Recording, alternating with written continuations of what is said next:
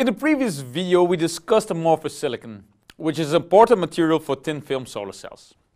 Now we will consider a consequence of the use of amorphous silicon for the thin film device structure, namely the PIN junction. The learning objectives for this video are therefore to get familiar with the PIN junction. We will discuss what a PIN junction is and why it's used in thin film solar cells. Finally, we will discuss the purpose of the doped layers in a PIN junction. We will start our discussion by recollecting the two mechanisms for charge carrier transport in solar cells, diffusion and drift. Diffusion is a process whereby particles tend to spread out from regions of high particle concentration into regions of low particle concentration. So if we have a cross section like the one shown here, with all the charge carriers concentrated on one side, the charge carrier density profile will resemble a block diagram. As a result of random thermal motion, there will be a net movement of the charge carriers to the low concentration region, creating a more distributed concentration profile.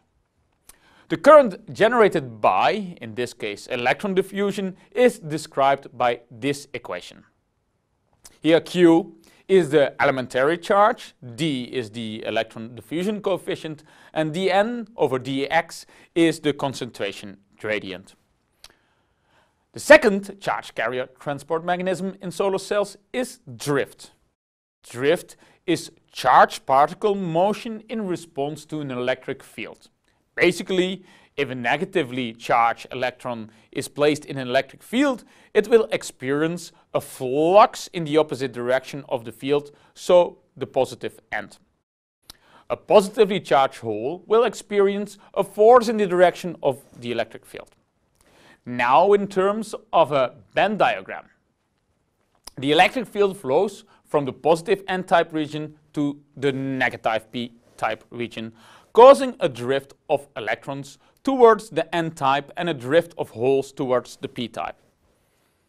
The current resulting of the electron drift is described by this equation where n is the electron concentration, mu is the electron mobility and E is the electric field strength. The diffusion length of the minority charge carrier indicated by L is equal to the square root of the diffusion coefficient and the carrier lifetime. The diffusion length can be interpreted as the typical distance minority charge carriers diffuse before recombine with a minority charge carrier. If it, did, it therefore does not make sense for the thickness of the absorber layer to exceed the diffusion length, since electrons farthest from the n-doped layer and holes farthest from the p-doped layer would no longer be collected. The diffusion length of crystalline silicon is about 300 micrometers. The thickness of a crystalline silicon absorber layer is therefore limited to about 300 micrometers. As we discussed in the preceding video, amorphous silicon has a much higher defect density than crystalline silicon and therefore a much shorter diffusion length.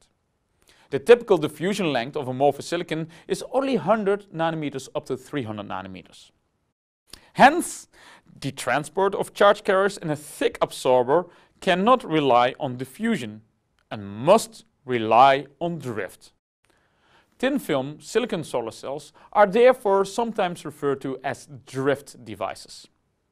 Consequently, Amorphous silicon solar cells are not based on a PN junction, but rather on a PIN junction. This means that an intrinsic layer, meaning a layer that is not intentionally doped, is sandwiched between a p-doped and an n-doped layer. While the intrinsic layer is several hundreds of nanometers thick, the doped layers are only about 10 nanometers thick. Between the P and N dope layers, a built-in electric field is created across the intrinsic layer. This figure shows the P, I, N layers where they are not connected to each other. In this situation, the Fermi level in the P layer is closer to the valence band and the Fermi level in the N layer is closer to the conduction band. For the intrinsic layer, the Fermi level is in the middle of the band gap. When the layers are connected to each other and the system is in dark under thermal equilibrium, the Fermi level has to be the same throughout the junction. This creates a slope over the electronic bands in the intrinsic film, which reflects the built-in electric field. Note that there are no majority or minority charge carriers in the absorber layer, since the intrinsic layer is undoped. Drift is therefore solely responsible for charge carrier transport in the absorber layer. Due to the electric field, light excited electrons will move down the slope in the conduction band towards the n-doped layer and the holes will move up the slope in the valence band towards the p-doped layer. Inside the p-doped layer, on the other hand, the holes are the majority charge carriers and the dominant transport mechanism is again diffusion. The same goes for electrons in the n-dope layer. Because of the low diffusion lengths inside the dope layer, the dope layer must be in fact very, very thin. Let's take a look at a solar cell with a PIN junction. The cell is deposited in superstrate configuration with glass as the substrate. In thin film silicon, holes have a significantly lower mobility than electrons. The P layer is therefore used as the window layer and deposited first. In this case, the generation rate is higher close to the P layer and more holes can reach it.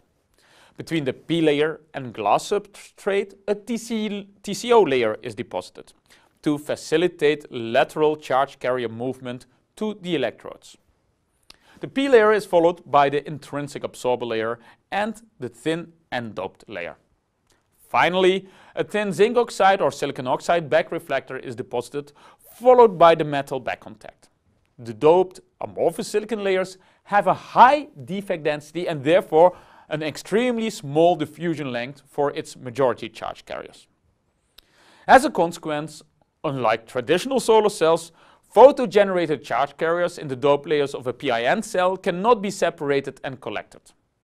Light absorption in the doped layers is therefore considered to be parasitic and it does not contribute to the generation of a current. Consequently, dope layers in a PIN cell have a very specific set of requirements. In order to maximize the amount of light reaching the absorber layer, the reflection at the interfaces of the window layer should be minimal. To that end, the refractive index of the p-dope layer should be equal to the geometric mean of that of the TCO layer and the I layer.